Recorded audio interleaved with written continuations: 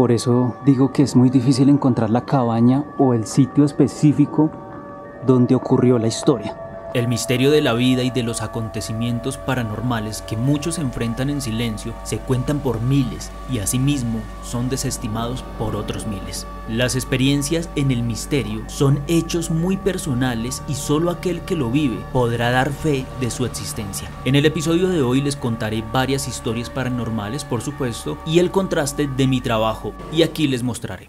Pueblo misterio, Siempre se agradece la compañía en tus investigaciones. En esta ocasión me acompañaría mi esposa y yo aprovecharía para hacer varias tomas interesantes que sirven para documentar mejor mi trabajo. Pero siempre hay algo que me parece hermoso y maravilloso de mi trabajo y es lo inesperado. Es decir, a lo que te enfrentas sin que estuvieran tus planes. Emprendimos el viaje un poco tarde, luego de eso nos pinchamos y no habíamos salido ni siquiera de Bogotá. Encontrar un montallantas no es muy fácil y la moto pesa bastante para arrastrar en plena subida y en un puente principal. No había de otra, se nos hacía tarde, entonces tocó ponerla en marcha. Es algo que no se debe hacer, pero teníamos afán. Y sí, ese que ven allá corriendo, pisando huevos, soy yo. Pero estos son los gajes del oficio. Marcamos nuestra ruta hacia el Parque Arqueológico Piedras del Tunjo en Facatativá. Y aunque Google nos dice que el tiempo estimado es de una hora con 30 minutos, en realidad son casi 3 horas por el trancón que tienes que aguantar en casi todo el camino. Bueno, por fin logramos llegar.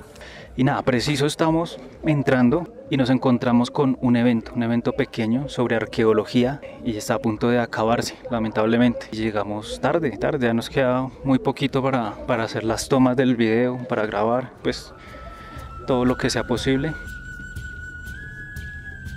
El Parque Arqueológico de Facatativá o Piedras del Tunjo es un sitio en Colombia que contiene pictogramas de origen desconocido y antigüedad estimada en aproximadamente 12.000 años. Está ubicado en el municipio de Facatativá, departamento de Cundinamarca. Aunque se encuentra en un área urbana, no se puede precisar la época de las pinturas ni si pertenecen a los muiscas o al periodo herrero. La principal causa de deterioro ha sido el vandalismo, que ha afectado gravemente a las pinturas. También se han observado efectos naturales como el crecimiento de la vegetación y la erosión provocada por el agua de lluvia. La práctica de hacer fogatas en el parque ha depositado hollín y humo sobre las piedras, afectando su preservación. Además de estas amenazas, algunas piedras han sido objeto de agresiones físicas intencionadas, como la dinamitación para robar las piedras con pictografía. A pesar de los esfuerzos por su restauración, el Parque Arqueológico de Facatativá enfrenta un futuro incierto debido a la falta de protección protección y cuidados adecuados.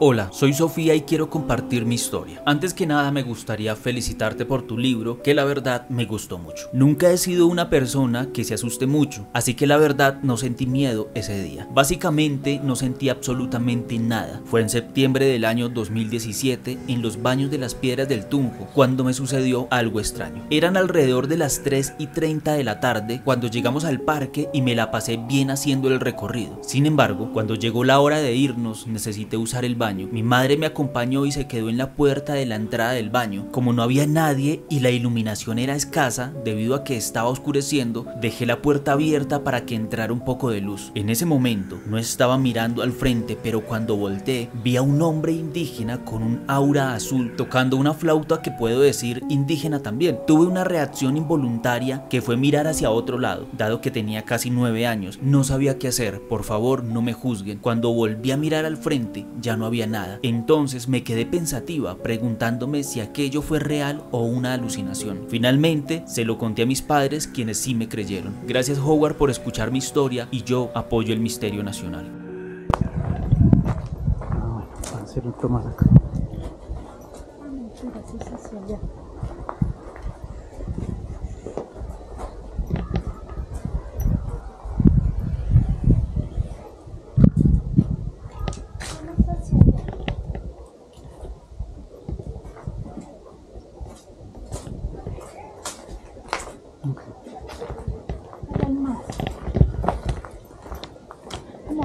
Sería esta la, la, la supuesta cabaña de la historia. Hay varias cabañas.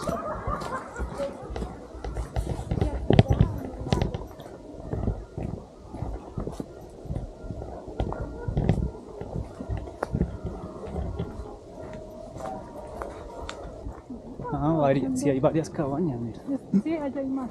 Mira, y hay ¿Qué una. es y hay esta? otra, Difícil saber cuál de cuál. Estamos caminando por la misma zona de la Roca Grande.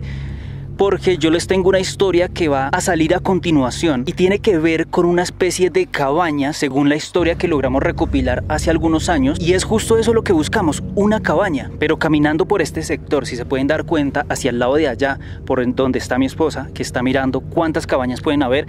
O yo les digo cabañas porque así me la mencionan en la historia. Eh, porque terminan siendo son como unas casitas para que la gente pueda comer, las cuales por dentro no tienen muy buen aspecto, la verdad. Entonces hay una por este lado, giramos cámara, hay otra por el fondo, atrás, como vieron en el video, había otra y al fondo, detrás de todos estos árboles súper anchos, también hay otra. Entonces, pues nada, y más allá se ven otras. No he logrado encontrar como tal el, sitio específico de la historia que van a escuchar a continuación y por eso creo que es mejor que ustedes la escuchen y saquen su propia conclusión, obviamente, de aquella historia inexplicable.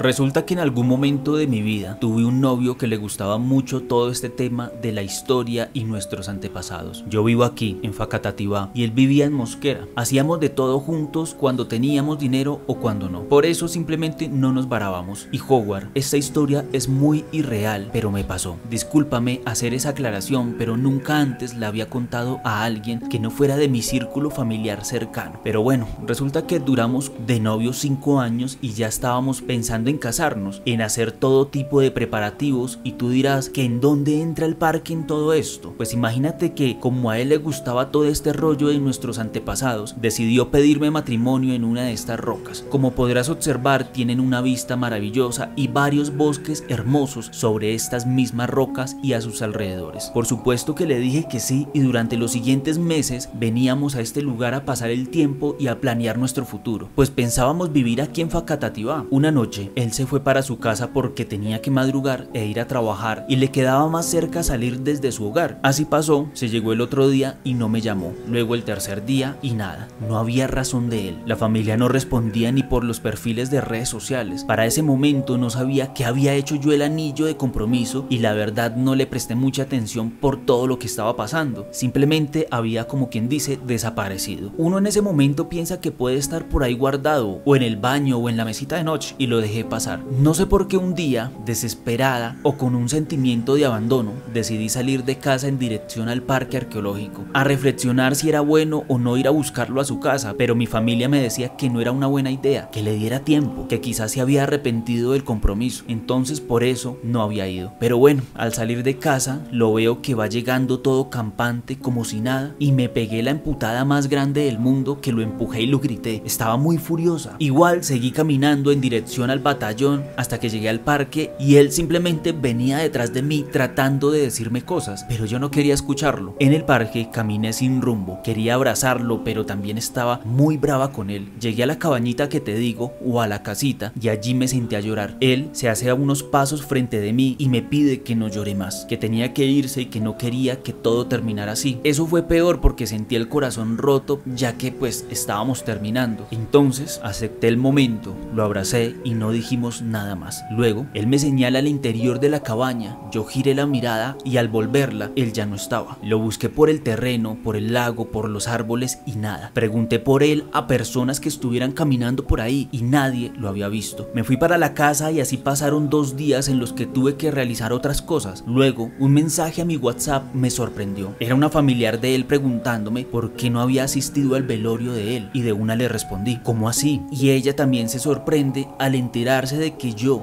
no sabía lo ocurrido. La llamé de inmediato y llorando le conté todo lo que había vivido, pero ella me dijo que eso era imposible, que él no pudo haber venido hacia unos días a hablar conmigo porque él murió en la mañana de aquel día en el que decidió ir a su casa para madrugar a trabajar. Todo era una pesadilla. Sentía que me enloquecía, que no separaba la realidad de la fantasía. Mi historia recorrió entre los familiares y todos decían que él se estaba era despidiendo, pero no era una despedida como cualquiera que se haya escuchado, pues yo lo sentí real, yo lo abracé. Adicional a eso, la ropa con la que lo vi era la misma con la que él había muerto. Él murió al cruzar una de las vías principales. Así pasé mi pena y una tarde de sábado, mientras arreglaba mi habitación, me pregunté dónde está el anillo, ya que nunca lo había encontrado desde aquellos días amargos. Ahí se me vino a la mente aquel día en el parque y la cabañita en la que nos abrazamos con él y donde él me estaba señalando algo. Me fui para allá sola y por supuesto que los recuerdos me entristecían. Al llegar, la cabañita es oscura. Junto a ella hay una roca acostada. Logré ver de nuevo algo que no pertenecía a esta realidad. Una sombra de un hombre muy alto que tocaba el techo y lo que podría ser su pecho se doblaba o se curvaba para dejar ver su rostro saliendo del techo de la cabaña. Este ente parecía tener un sombrero de copa alta. Cuando me intenté acercar sentí mucho miedo. Era como si esa sombra quisiera atacarme. Yo comencé a pedirle a mi novio que me protegiera desde el cielo y también le pedí a Dios. Sentí fuerza y a paso lento me fui acercando y quedando debajo de esa entidad. En el piso de esa cabañita, sobre el ladrillo quemado, estaba el anillo de compromiso intacto. Lo tomé y salí de allí. La sombra nunca se marchó, pero sí me miraba como acechándome, con ganas de hacerme daño. El anillo no estaba ni viejo, ni roto, ni desgastado. Parecía prácticamente nuevo. Yo solo corrí para la casa como una loca histérica. Esas noches me dio fiebre y me sentí muy perseguida. Creo que todas esas experiencias me estaban haciendo perder la locura. Han pasado ya varios años de aquello y hasta ahora cuento el resto de la historia, Howard. Solo puedo hacerme aquí, no puedo ir a esas cabañas porque me da mucho miedo, así sea de día. Mira, Howard, esto no tengo pruebas tangibles y tampoco estoy de psiquiátrico o sufro de alguna enfermedad rara. Sí asistí en algún momento a terapias para poder olvidar, porque esto no fue fácil, pero cuando algo lo vives, por más que te digan mil cosas, no las podrás olvidar con nada. El tiempo ayuda mucho y abrirse al conocimiento prohibido, a saberes distintos y a escuchar también ayuda bastante y saber también con quién se puede o no hablar. Eso es todo Howard, gracias por permitirme este espacio en un video de mi municipio. Yo creo en el misterio nacional y en tu proyecto. Gracias. Continuamos el, el camino, el recorrido por las piedras del Tunjo y vamos a ir directamente hacia un lago. Un lago que también tiene pues sus, sus historias, no son demasiado terroríficas, eh, tienen que ver algo más que, que, con el miedo del terror del fantasmas, tiene más que ver con, con apariciones de luces, de seres elementales que dice la gente. Entonces aquí estamos, este es el, el lago del cual van a escuchar una historia muy pequeña.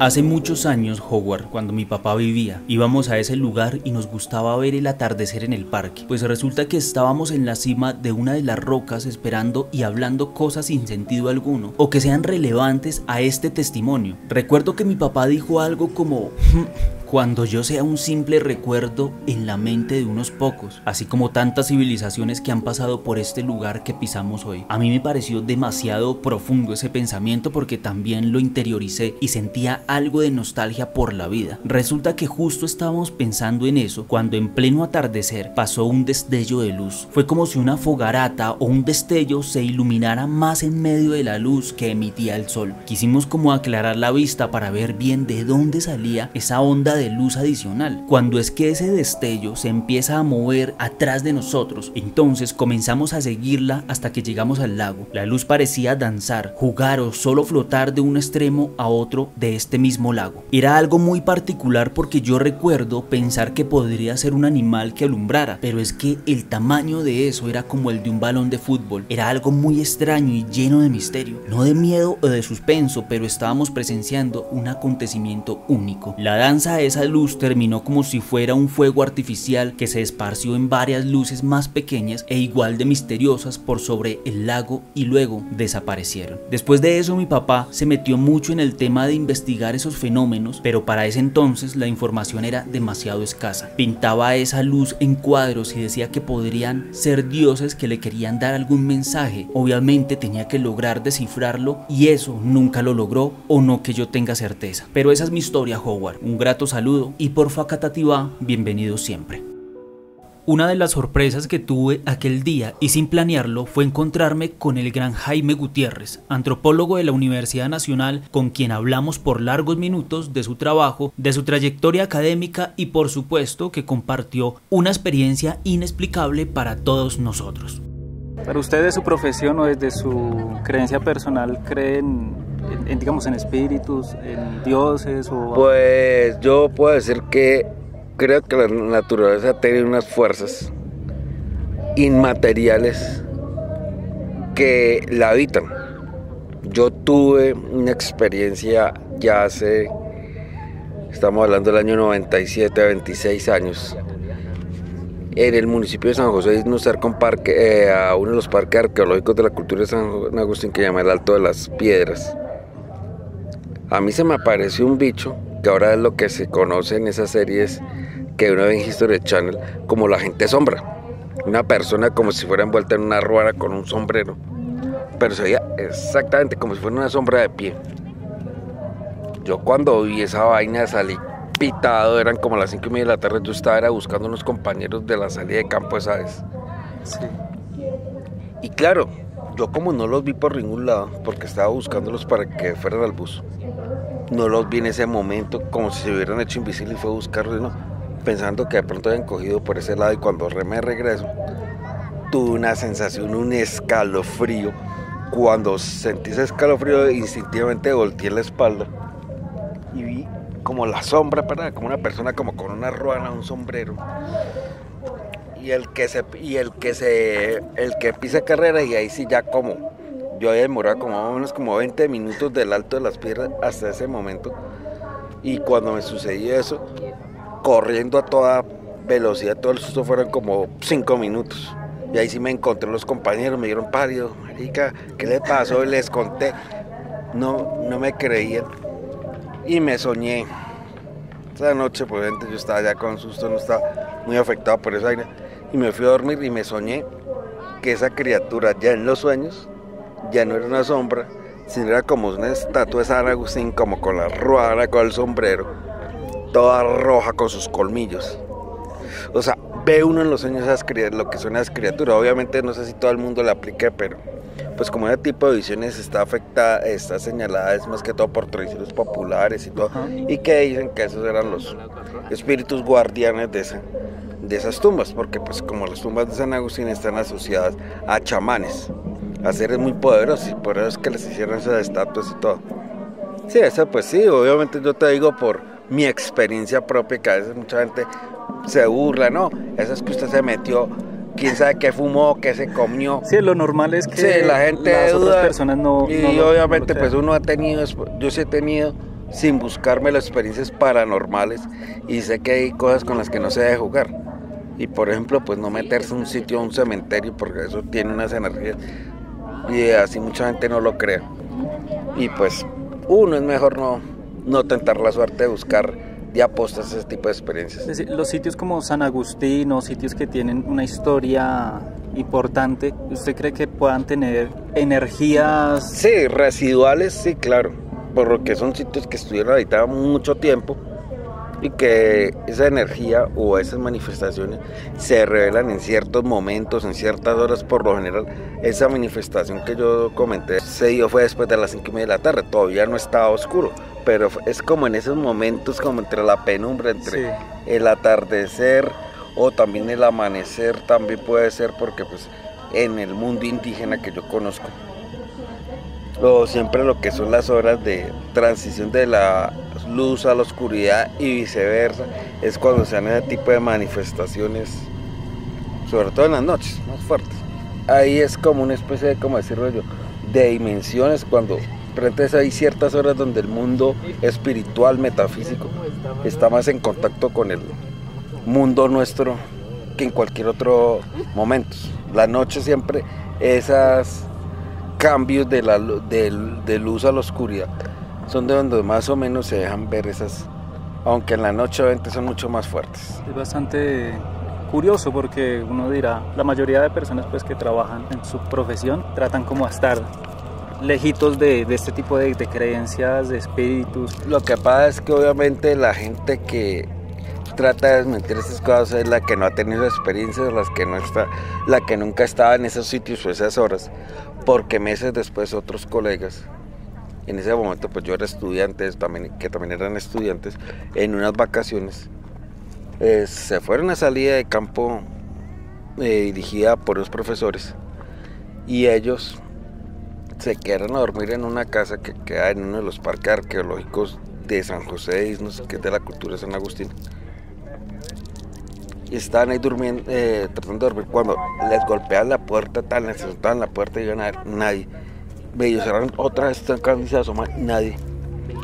Que la única forma de poder dormir era emborracharse. Porque no podían del susto tan berraco. No, esas son historias. ¿eh? Los, que, los que hemos tenido experiencia, obviamente, cuando queremos manifestar este tipo de cosas, los espacios académicos no son los indicados. Porque, la gente, porque primeramente nosotros trabajamos, los arqueólogos trabajan sobre lo material. Sobre lo material, pues se saben las creencias de acuerdo como nos lo han enseñado en las teorías, en las evidencias ajustables, por ejemplo, el conocimiento de los símbolos, de los rituales, uno sabe unas cosas, pero al hablar de estas vainas, obviamente, pues no hay espacio primero porque no es la, es algo metafísico. Y esa, o sea, los únicos espacios precisamente que se dan es extraacadémicos, no en espacios. Sí, así.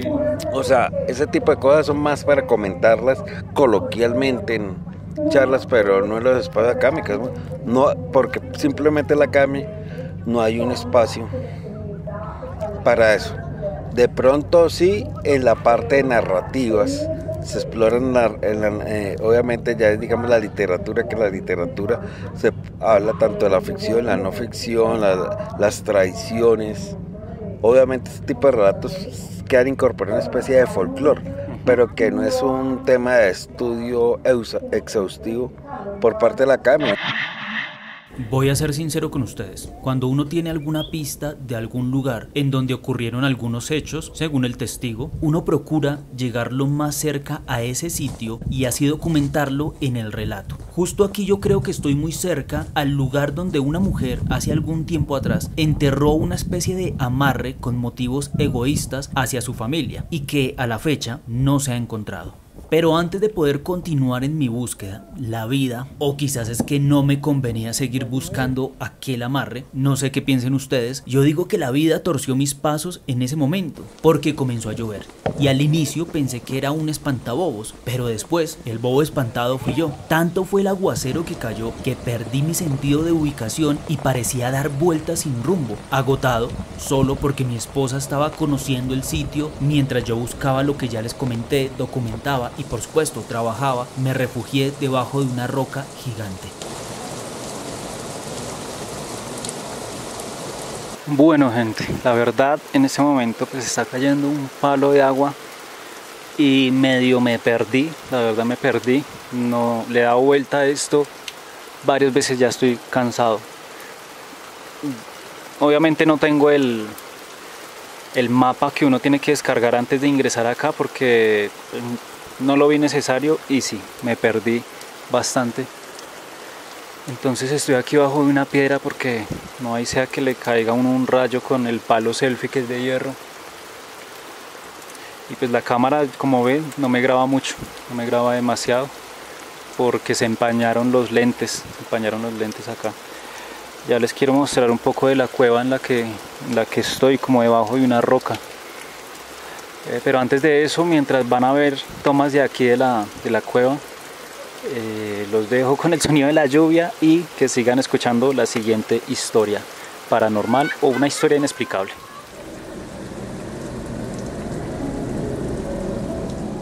No sé por dónde empezar, pero esto es algo que me ocurrió en mi vida, en mi casa, hace algunos años. Mi madrastra era una mujer obsesionada con mi papá, tan obsesionada que llegó al punto de hacer cosas realmente aterradoras. Se llamaba Carla y nunca me llevé bien con ella. Desde que entró en nuestras vidas comenzaron los malos tratos y la tensión en el hogar. Carla siempre fue una mujer controladora y posesiva. No podía soportar la idea de que mi papá y mi mamá se separaron y estaba obsesionada con la idea de que mi papá volviera con mi Era un miedo que ella tenía. Para evitarlo, decidió recurrir a prácticas poco convencionales como recurrir a amarres y hechizos. Un día, Carla contó a mi hermana y a mí que iba a hacer un ritual en un lugar especial. Este lugar pues es el Parque Arqueológico de las Piedras del Tunjo. Es un sitio para nosotros sagrado y lleno de cultura indígena en nuestro país. Por supuesto, nosotros nos alertamos Howard. Nos dijo que estaba enterrando un amarre para que mi papá nunca la dejara. Nunca lo ocultó, incluso mi papá lo sabía, pero usted sabe que si no se tiene mucha creencia en esto, pues no se toman acciones necesarias. La verdad simplemente nos sentimos incómodos con la idea, pero nadie podía detenerla en su locura obsesiva. Después de ese día, en nuestra casa comenzaron a ocurrir cosas extrañas, puertas que se abrían y se cerraban solas, extraños sonidos en la noche, pero lo más aterrador era que empezamos a ver sombras, figuras borrosas que se movían rápidamente por la casa, eran muchas personas, parecía que alguien o algo se escondía y nos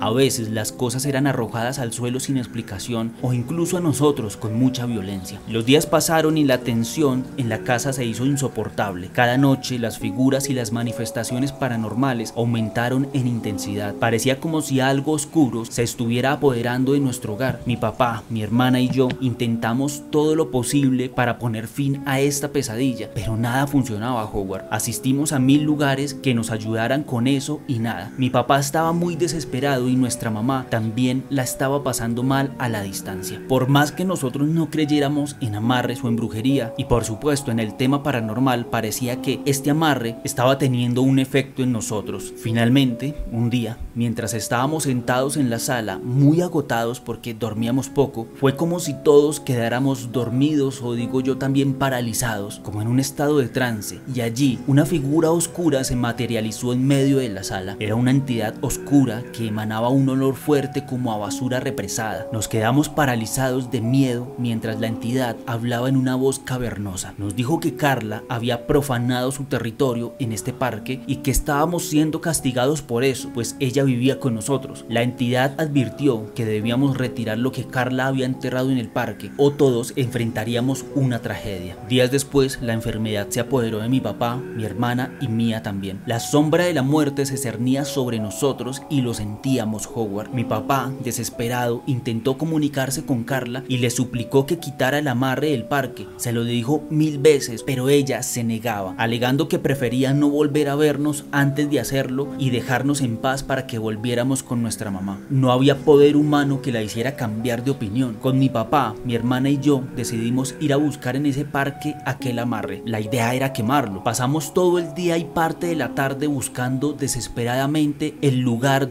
Carla había realizado ese ritual. Fue una búsqueda agotadora, pero no encontramos ninguna señal de lo que había enterrado. Al regresar a casa nos encontramos con una escena desgarradora. Carla yacía en el suelo inconsciente. Había sufrido un infarto según los médicos. Mi papá estaba devastado y un sentimiento de culpa nos consumió a todos. A pesar de su obsesión y sus acciones incomprensibles, nadie merece sufrir una tragedia de esa manera. La entidad está oscura y las sombras y los hechos paranormales desaparecieron de nuestra casa. Siempre nos preguntamos si fue el castigo de esta entidad o simplemente fue una casualidad, Howard. Y desde allí aprendimos a no jugar con fuerzas que no comprendemos y a veces es mejor dejar en paz lo que está destinado a permanecer oculto y también a no forzar la vida de otros por miedo. Gracias Howard y yo apoyo el misterio nacional.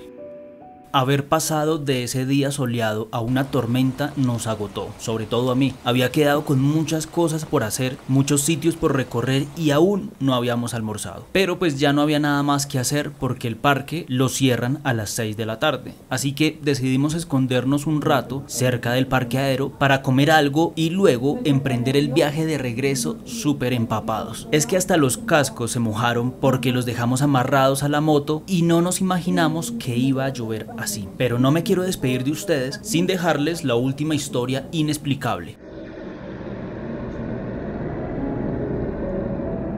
Mi tía me contó que en ese lugar toca ser respetuoso o los ancestros se enojan y podrían afectarlo a uno de alguna manera, pues dice ella que le pasó algo muy particular cuando ella era más joven. Cuenta que en una ida de colegio, ella y un grupo de amigas, estamos hablando de unas chicas ya de grado 11, no eran niñas de tercero, comenzaron a juguetear con sus conquistes y a mandarse razones una con otra para el grupito de los chicos, hasta que cuadraron que mi tía se iba a meter a un matorral junto a una enorme roca bien escondido a besarse con su chico. Todo el resto pues usted sabe, riéndose y bromeando a una distancia más o menos prudente. Dice que estaba besando a su chico cuando sintieron que algo como que los jalaba a cada uno para un lado distinto, como si los tomaran de atrás de la ropa y los separaran. Ellos pensaron que eran sus amigos y al voltear a ver no había nadie a su alrededor. De la nada comenzó a surgir una neblina de la roca que cubrió todo a su alrededor. Mi tía dice que comenzó a gritar llamando a sus amigas y que nadie llegaba. Caminó un poco para ver por dónde salir de ese lugar y nada. Estaba realmente asustada por lo que estaba pasando. Era como si de un momento a otro se hubieran perdido en un pequeño pedazo del parque. El man estaba nervioso, pero dice mi tía que para hacerse el machito comenzó a hacer chistes y luego a orinar junto a la roca donde momentos antes estaban gozándose. Ella le llamó la atención diciéndole que no lo hiciera y justo ahí dice que vieron un rostro surgir entre la neblina y la roca. Era un rostro de un hombre muy grande que los miraba con desaprobación. Entonces mi tía salió corriendo y pedía ayuda. Dice que duró perdida por varios minutos hasta que, ya desesperada de no encontrar salida y eso que ella decía que ese lugar no era muy grande, se arrodilló y lo único que hizo fue pedir disculpas si había ofendido a alguien o a algo. No específicamente como a los ancestros porque ella no pensaba nada en ese momento, simplemente se le ocurrió decir eso y ya. Se atacó a llorar y al momento su profesora junto con unos compañeros llegaron donde estaba ella. Le hicieron mil preguntas pues la estaban buscando desde hacía rato y nada que aparecía. Sus compañeros dijeron que los habían visto meterse tras la roca y después pensaron que se habían ido solos por ahí porque no los habían vuelto a ver. El man también apareció Howard junto a un árbol muy grande con el pipí afuera y desmayado. Dice mi tía que era porque él estaba haciendo chichi cuando lo sorprendió esto. Obvio su amor platónico no volvió al colegio por vergüenza y nunca quiso hablar del tema. Pero eso le pasó a mi tía Howard. Gracias y yo apoyo el misterio nacional.